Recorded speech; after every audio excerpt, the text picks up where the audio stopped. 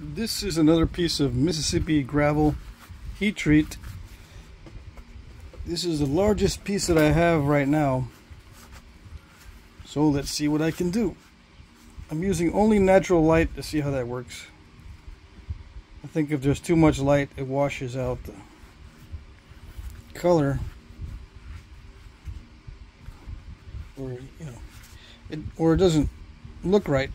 Anyway, let's see what I can do with this. It's already been spalled a little bit, so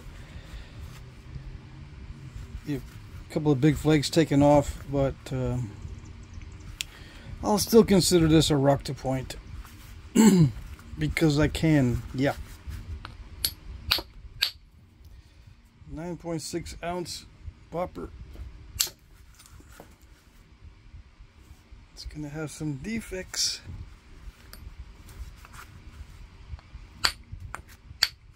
Shouldn't hit it there because it'll I might break it in half. Hold on. I still haven't figured out where's the best spot yet. To start breaking into it to preserve the length. I really want to preserve the length on this one.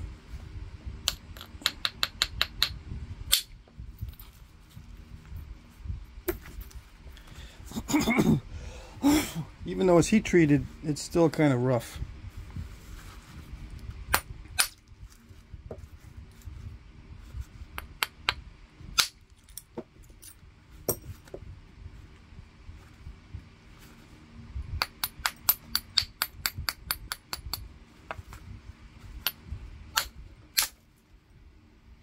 Yeah, I'm gonna. I need both gloves for this operation. Some of the flakes, when I'm hitting really hard, some of the flakes come, come right back into my hand. And since they're traveling at very high speeds, it could start start a leak that would make a mess. All right.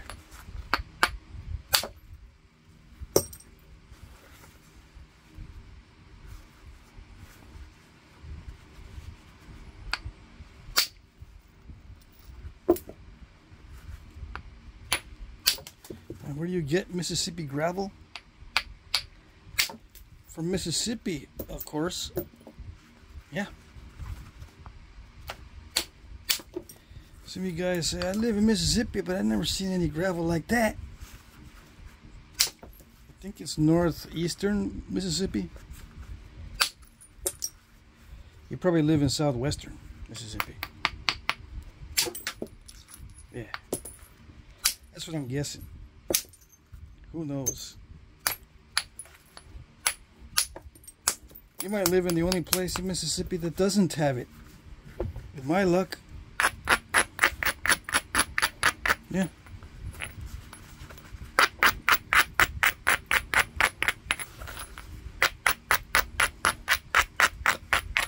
I get people all the time saying, I never heard of the stone that you, you're using, but people say it's right right almost in my backyard.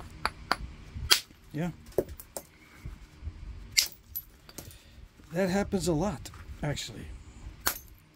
I had one guy from Ocala, Florida ask me where to find Ocala Chert. True story. I just said start digging, man. He laughed and I he emailed me again and I, I gave him a number of a guy who has Ocala Chert. But you gotta heat treat it. Or there's a coral, Ocala coral. I don't know. You guys in Ocala, Florida, you know. Okay? Just advertise yourselves a little more so people won't ask me. Yeah.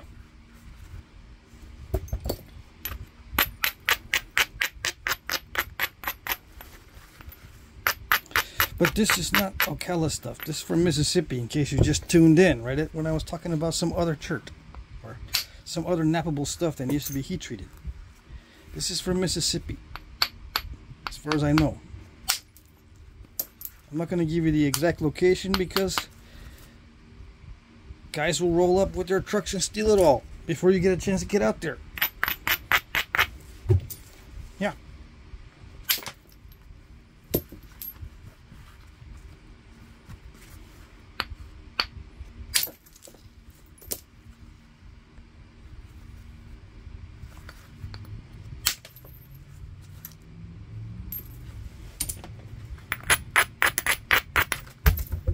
You might say, well, it doesn't make a difference if I don't get it either way. It does make a difference because some people know where that is and they don't want their little honey hole to disappear. Yeah. They don't want their stash or their secret location to be advertised. But in many cases, it, this is not a secret. You can you can probably actually buy yards of it from a landscape company. You know, I just saw gravel around around here in Vermont. You can buy gravel for fourteen dollars a a yard, something like that. It's not knappable, of course, but it's not that expensive. I don't think. Maybe that is expensive. I haven't looked at what is cheap gravel by the yard. I don't know what that is. All I know is if I had a a cubic yard of this for 14 bucks, it's a lot cheaper than buying it by the pound, I tell you what. Yeah. Some people say, I'm in the wrong business if I can sell rocks for the, by the pound. You know what? You are in the wrong business. Yeah. It's not maybe or I might be. No, you are in the wrong business. So what are you doing in the wrong business? People need rocks. Jump on the opportunity. Don't scream I'm in the wrong business and then don't do anything. Yeah, get on it.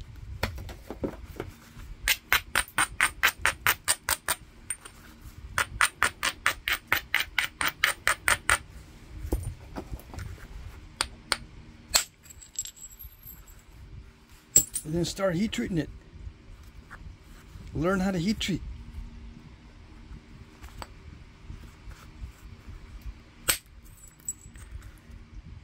Other guys, some of my rock seller friends are probably saying, no, no, no, no, no, too much competition is not good. Cool it.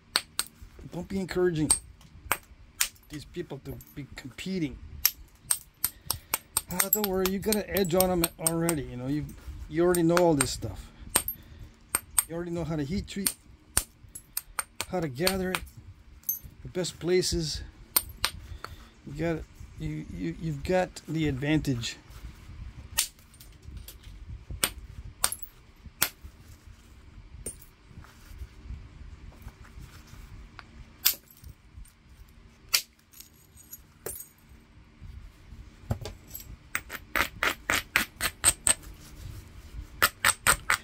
I know a couple guys that got really excited about selling rock, and they, you know, they had a location where they could, they could just go and pick it up for free, no problems. The landowner wanted the rocks gone. They're all happy. They advertised. They started selling it, and then they ran out. Tons of rocks, literally tons of rocks, and they ran out. So it's a finite resource. Yeah. So even if even if you're swimming in it right now, you might not be in a few months. It's, it's that good. Yeah. The market is that good. If it's good rock. Now, if you got stuff that doesn't work very well, then you might have a hard time selling it. Yeah.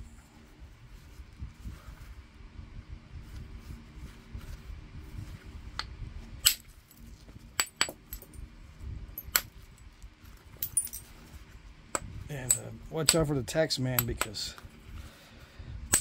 one of my rock selling friends told me that they, he had a big boost in his income and I think he got audited because of the boost in his income and he didn't report any of his rock income from selling rocks. Yeah, so he had to pay some back taxes. Back taxes are a royal pain. I know. How do I know? I don't know.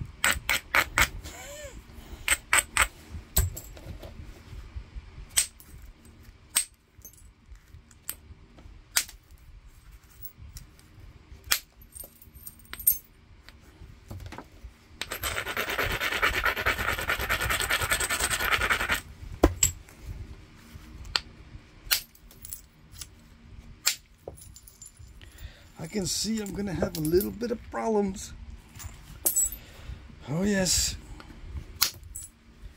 I'm to have some flint knapping difficulties called problems. Dang it. Or if I make it thick, maybe I won't have no problems. I can only hope. So you got some right there. I got all this stuff in here. Oh well.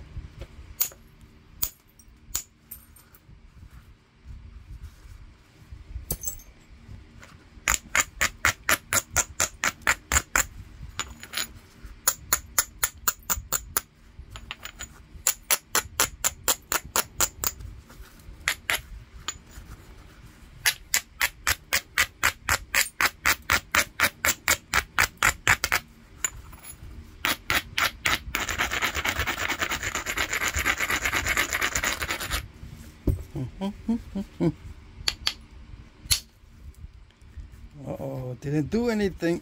Let's hit it again. It did do something, but I don't see where it it's cracked. So let's try it again. There it goes. That's pretty cool. You, you can see right through it. That air in there was a million years old and it escaped with all kinds of weird alien viruses. Yeah. Where's the origination of that virus? I think it was from the backyard of some gooberhead breaking rocks open. Yeah. Never know.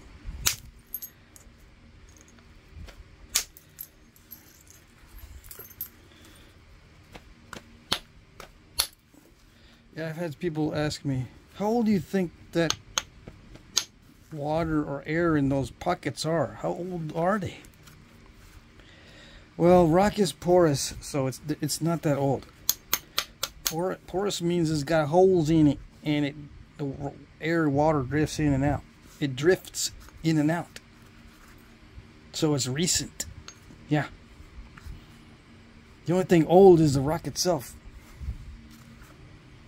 Now, if you find sand in some of those pockets, that sand is pretty old because the sand can't get through the porous stone.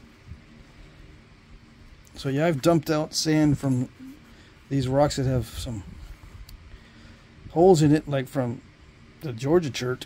Sometimes there's pockets with sand in there. I dump the sand out and I say to myself, that sand is millions of years old. Dang it. And you can't sell it because no one no one thinks it's special that's that's another problem. Why isn't it valuable? It's because the the beach sand is millions of years old too, in many cases, so it's nothing special.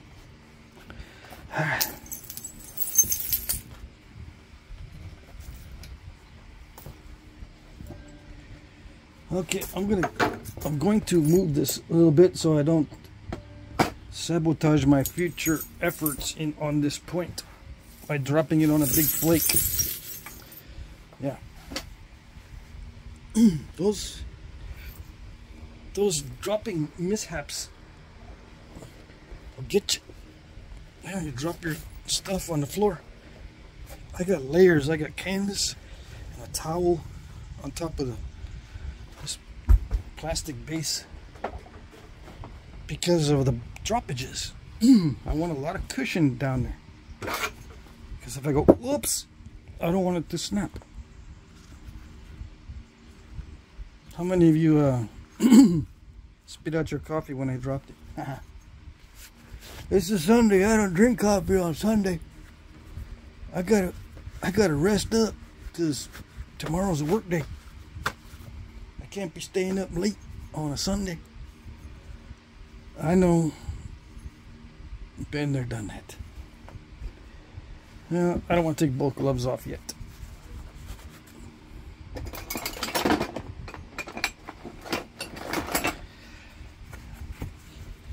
But yeah, uh, I, when I was a heavy coffee drinker, I would drink coffee on Sunday too, and Sunday night. Yeah, I don't care.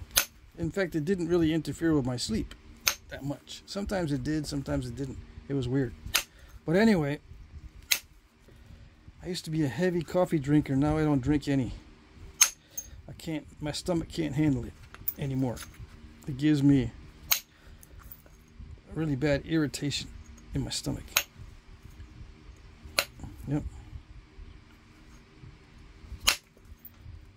Gives me a stomach ache. I don't know if I developed a sensitivity to it or what. But it's really hard to give up coffee. Yeah, really, really difficult.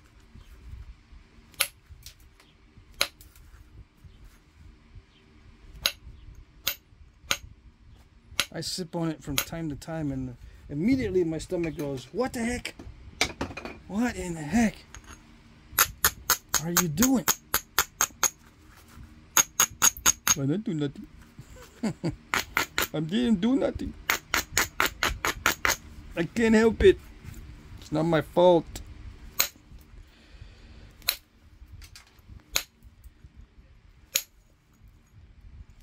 Yeah, my brain has a pathetic little voice. Because it knows it's guilty. Yeah, it knows. Guilty. Stomach doesn't put up with anything. No. The stomach is hardcore. Old school. I don't put up with anything. gonna let you know right away that you're being sneaky.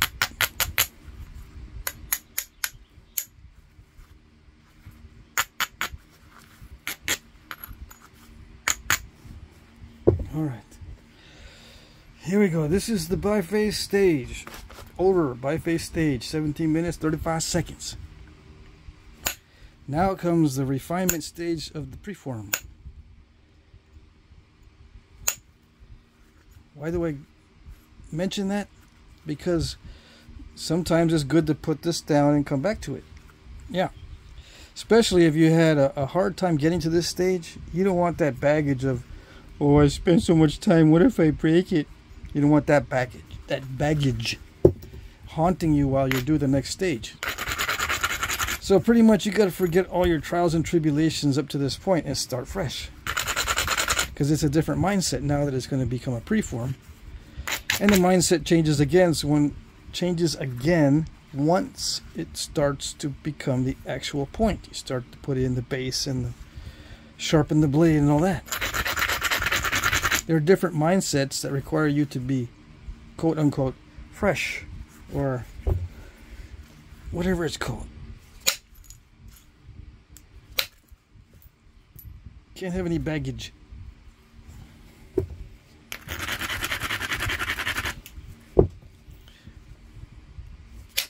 some researchers of artifacts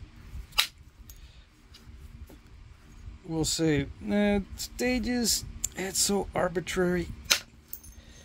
It's it's not even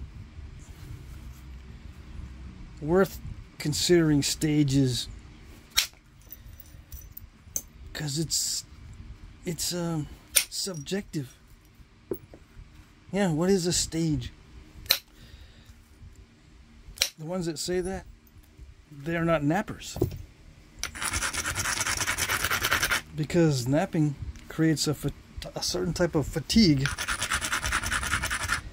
in the brain.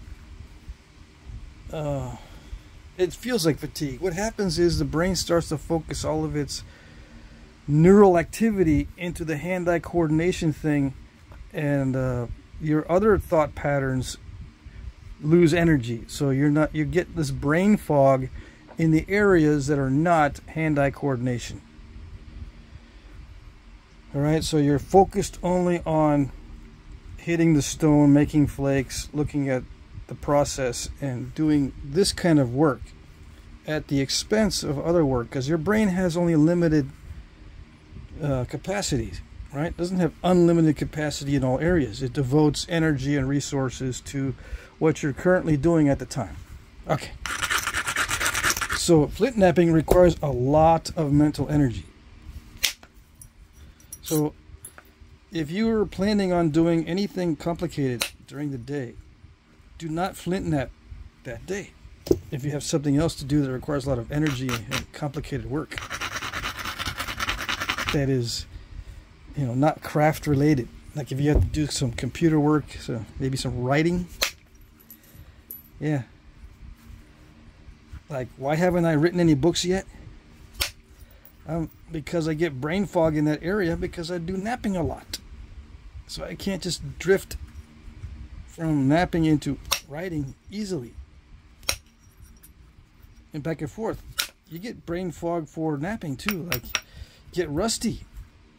When I say that I forget how to knap, what that really means is my brain has been focused on, other areas and all the energy has been devoted to developing uh, energy in that other area of my brain. So my flint knapping area of my brain is in a fog. So, in other words, to make it simple, I just say I forgot how to knap. Yeah.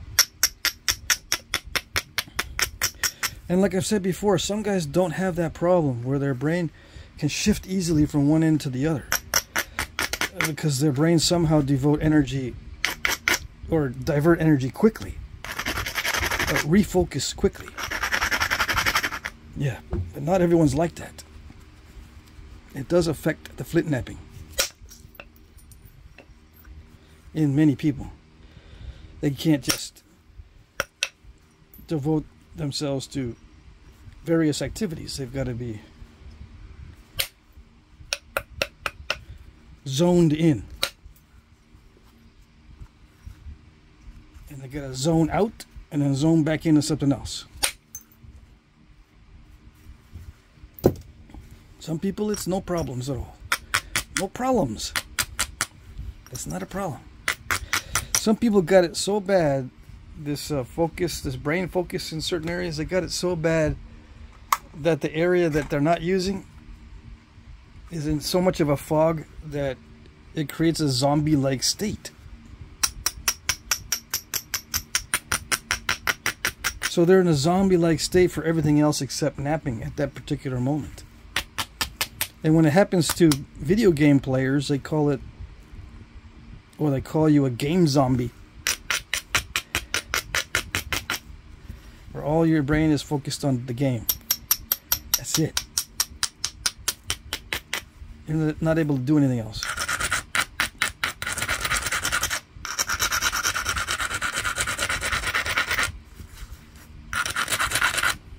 I've had to learn to jump around between knapping and other things, but that means I can't do any of those things well.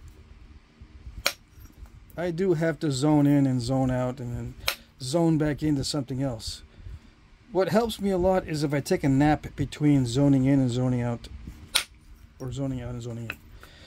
Taking a nap helps me to zone out so that when I wake up, I can zone into something else, and it doesn't take that long.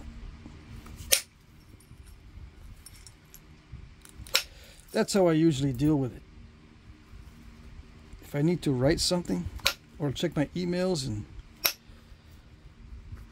or uh, write a to-do list, I'll go back over all my other stuff on my lists and cross out what I've already done. I can't do that well or well enough if I'm if I've just come off of flint knapping. I don't really feel like doing it. I don't feel like checking emails after a day of knapping. Yeah, that kind of thing.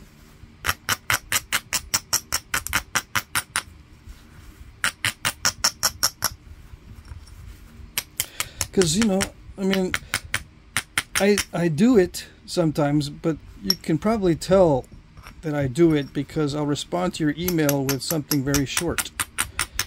Like, cool, or awesome, with a little thumbs up, or just a smiley face. Or I'll look down and see does Google recommend a response? I'll just hit one of the responses like, thank you very much. Or I appreciate that. In the emails, you can probably tell that I'm using a canned response or a short response. That's usually because I'm answering emails right after I'm doing my knappings or something else that was uh, difficult physical activity like a workout or something. I've been trying to work out lately, at least a little bit. I haven't done much cardio, so that that video when I was on the trail going up and down, just these little slopes up and down on the trail, I was getting winded. Just walking up and down these little slopes.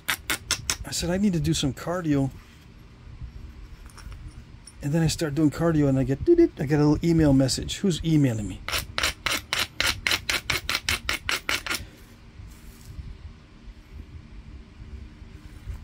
Yeah, if I'm doing a brisk walk or I'm, I'm doing some squats or something without weights, just like burpees style activities. I've done burpees, yeah. I don't like them, but I've, um, I do them for cardio. I don't run that much anymore because my left knee is bugging me. I have an old injury. But anyway, yeah, we're on the subject because of the way the brain works and it affects the knapping. Moral of the story is if you want you want to go into how these were made, they were made by people who had issues with this with their brain activity.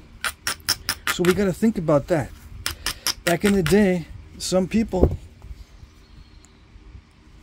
might have had trouble shifting between knapping and strenuous exercises like hunting or chopping firewood and stuff like that.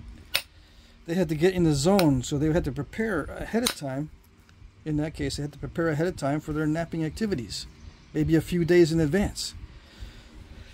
Get everything set up, their food and their shelter set up so they can clear out their area, make sure everyone knows, I'll be knapping here, don't step on chips. Or they go off in the solitary for a few days and do the knapping so no one steps on the chips, as an example. So they can focus. So that's one of the things that is involved in how were they made. Were they made in camp? Did they develop special camps just for knapping and it looks like it's a hunting camp? I mean, the researchers don't know. It looks like a hunting camp because there was knapping activity, but it could be just a knapping camp and that's it. Do they? How do they know it's not? And to us knappers, it makes sense to have a, a knapping camp where you go for a few days and zone into knapping because you have a hard time doing more than one thing at the same time. So you focus only on the knapping, you go in solitary, maybe with a couple other guys, They have a little knapping camp. It's not related to hunting whatsoever. They're just knapping. That sort of thing is part of how did they make them? That's part of your answer right there. Now, do they discuss these knapping camps in the literature, in the archaeological literature? Sometimes they do. You get some. You do. I have to admit, you do have some bright archaeologists, right? And some bright anthropologists. But it usually doesn't get discussed. Usually not. But there are some that recognize that skills, some skills require intense focus. So they have a special location or time devoted or even a society or a guild or some sort of group devoted only to that skill because it requires so much focus so much energy so much brain power to accomplish some might say it's even cult like to be involved in one of these skills. You have to follow a strict regimen. No intoxicating substances. You got to take care of your health. You can't knap very well when you're feeling sick.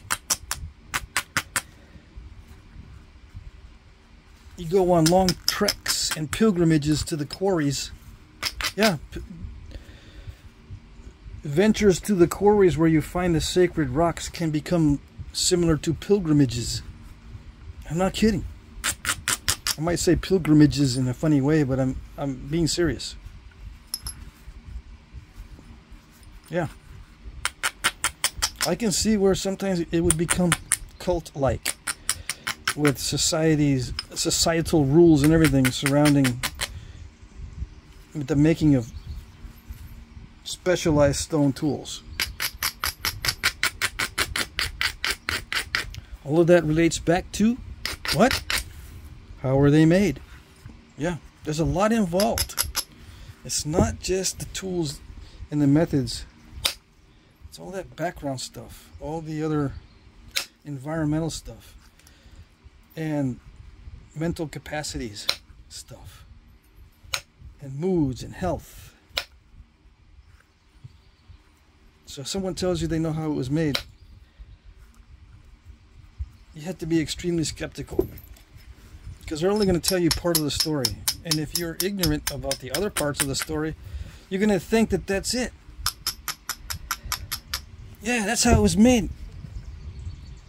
But you don't understand the other stuff. You don't understand the way the brain works and how it needs to be devoted specifically to certain tasks in order to accomplish them well and you need environments that are conducive to that. You just can't always wing it. You can't always just make doo doo with what you got and expect something really nice. Yeah. Some of these artifacts are very, very well made. but it's logical to assume, I think, that if it's very, very well made, it's not something that they sat down and just winged it oh, I got a 30 minute break now before before the hunt, you know, before the sun goes down. We just finished the hunt. We just exhausted ourselves, uh, you know, uh, setting up this trap and then trapping the animal and dispatching the animal and, and all that. Now I got to sit down and knap. I got 30 minutes. I can make a beautiful piece. No.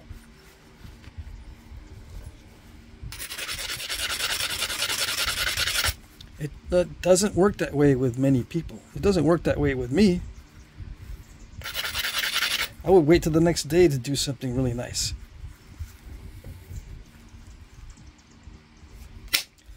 Because, you know, that if I had just, with a couple other guys, just uh, checked the bear trap and there was a bear in there and we had to dispatch it, uh, cut it apart and drag it part of the way home, have the rest of the group come over and meet us halfway, I guess, uh, to butcher it down the rest of the way, or whatever, whatever, whatever technique that they would use to get these animals processed. After that process, you you want to just kind of relax and wait till the next day to do the other stuff. I would think.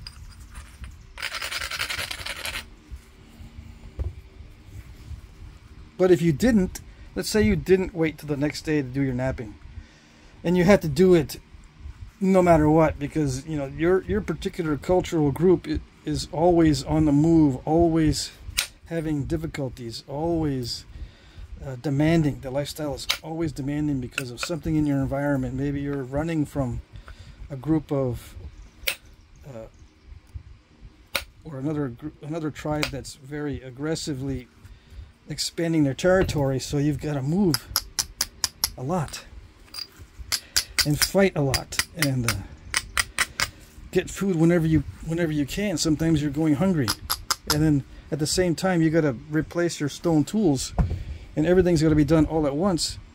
I don't think you can expect that the tools are going to look beautiful. They're probably going to look pretty crude, even though they might have access to excellent material. So, what I'm saying is, all that other stuff is part of how they were made. And you've got to know that if you want to know how they were made. So, now you know. Now you're not ignorant of all the other stuff that could be in play when you're trying to answer the question, how was it made? Why did it look so cruddy? And is it because they used inferior tools? That's what a lot of people would say. Or inferior skills. It looks cruddy because bad stone, bad skills, bad tools. They don't say it looks cruddy because they didn't have time. They were always on the move. They had very skilled knappers, but those skilled knappers were were old and they had bad eyesight. So even though they could knap beautiful stuff under optimal conditions, they didn't because of the, the problems or their age. It's not because lack of skill or lack of tools. They might have had a beautiful tool set with all the right types of bone and antler and all that. But the points just look crude because of the time. Limited time or limited energy. They may have been not eating well. Just try to do something like this, sitting in one place on an empty stomach after not eating for three days. Just try it. I've tried it after not eating for a day. I don't feel like doing this stuff if I haven't eaten. Why did I not eat for three days? Well, I ate very little because sometimes if I'm feeling bad, I'll just stop eating because I, I ate something that I didn't agree with me. Yeah. So I'll stop eating, and sometimes I'll eat very little for like three days. And I don't feel like knapping during those days. Crazy? Energy is very low. Brain activity starts to become very foggy. Yeah. Hold on, I gotta close the door and change the lighting.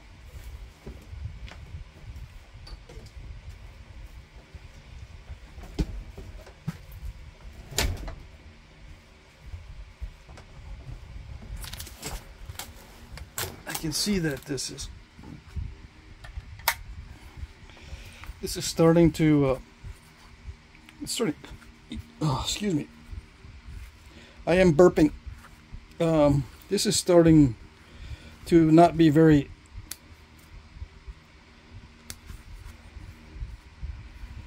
and not be very good as far as lighting. Okay. Where was I? Talking about sleep. No talking about eating. Yeah. You gotta have a lot of things in place and taken care of, I think, to optimize your flint knapping. And if you don't have those things taken care of, your knapping, doesn't matter how skilled you are, your knapping suffers. But the archaeologist of the future says, it must be because of tools, yeah, not sufficient. Tools not sufficient technique not sufficient. They're focused only on the tools and the techniques.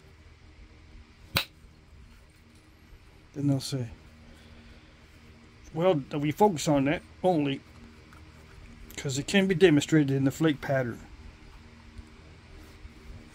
Hunger is not demonstrated in the flake pattern. That's what they're thinking. Nothing could be further from the truth. Hunger is reflected in the flake patterning. Yeah, if your flaking is crap because you're hungry and tired, and maybe uh, you you have to knap under low light conditions because you're traveling during the day, trying to escape an aggressive neighbor, it's going to look poor. The the work's going to look poor. Okay, all right. But of course, you can't. They don't tell you that. Yeah. They want to simplify it. It's okay to simplify things, but don't oversimplify. That's the danger. Oversimplification will get you into trouble. Yes, the simplest explanation is usually the best one. But if you oversimplify, got to be careful. It, because it can mess you up on the explanation. Oversimplification can mess you up. All right. I know. I might oversimplify some things. Yes, I know. I am aware. My explanations are not perfect and they are correctable. Yeah. A lot of my explanations can be corrected. I can be wrong or I, I will accept contrary evidence and say, dang it, I messed up. Yeah.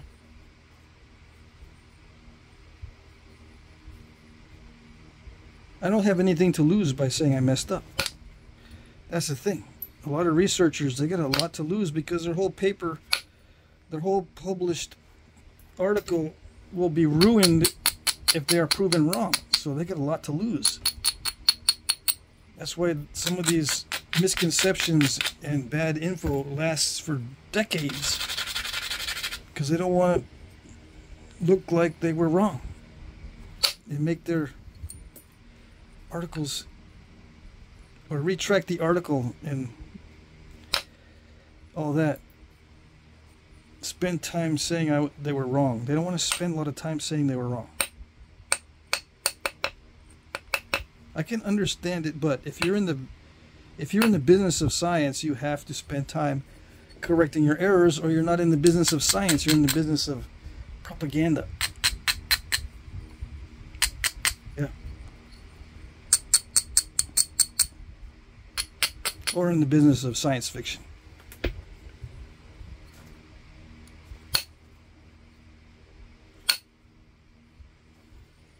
Okay.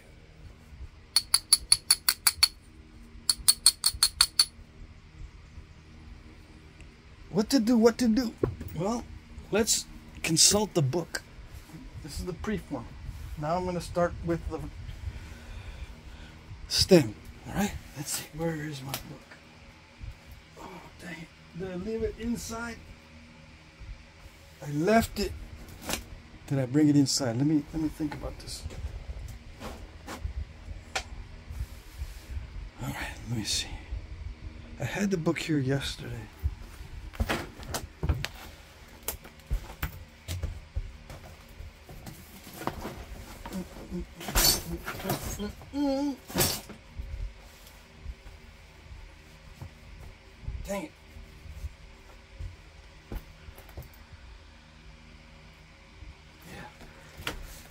Left it inside. Now, this is the dilemma.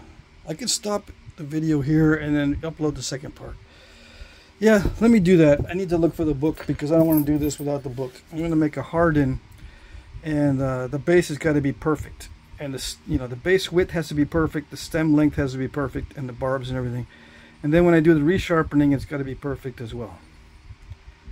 Alright, because it's going to be slightly beveled. Alright, so stage two. I finished stage one, which was the bifacing. Stage two is the preform. This is the preform for the Hardin. And uh, according to me, this I'm not going according to artifacts. I don't know because I don't know what the preform for the Hardin looks like. It could have different forms. It could look like this. It might not look like this. It might have a fatness up here and a, a well-developed stem early on, or the opposite, very very thin blade and very fat down here, or it could be you know evenly tapered like mine. I don't know. Anyway, this is my version of the Hardin preform. So we'll go on to the next stage of finishing in the next segment. Alrighty. There you go.